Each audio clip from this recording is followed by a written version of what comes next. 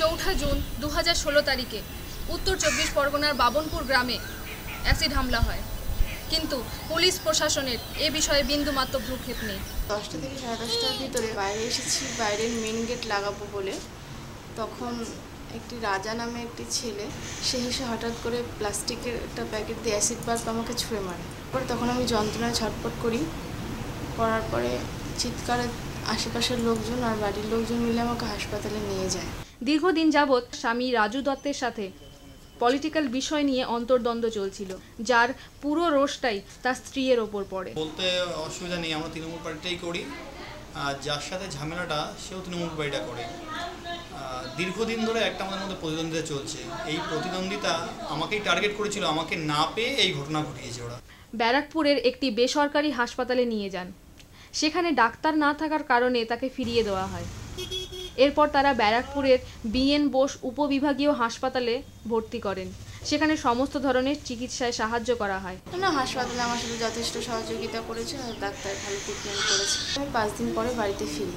বাচ্চাকুটায় কিছু দেখতে পাচ্ছি না আর স্কিনে খুব প্রবলেম হচ্ছে। বাইরে বেরোতে পারছি না কারোর সামনে যেতে পারছি না।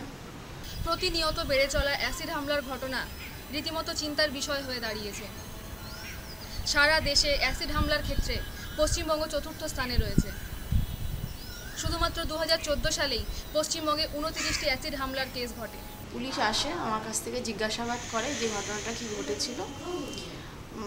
ঘটনাটা শুনে এখান থেকে মানে আমার কাছ থেকে বয়ান নিয়ে চলে যায় ঘটনাটি যখন পুলিশের কাছে জানানো হয় প্রথমেই তারা অভিযুক্ত রাজাকে গ্রেপ্তার করেন এবং মাত্র চোদ্দ দিনের জেল হেফাজতে রেখে ছেড়ে দেন। বিষয়টি নিয়ে তারা আর কোনো উচ্চবাচ্য করেননি। যতবার আমরা প্রশাসনের কাছে দ্বারস্থ হচ্ছি প্রশাসনের বিভিন্ন মাধ্যম দিয়ে খবর নেওয়ার চেষ্টা করছি। প্রশাসন বলছে আমরা তদন্ত করছি আমরা আমাদের ওয়েতে ইনভেস্টিগেশন করছি একটা রেজাল্ট আমরা দেব।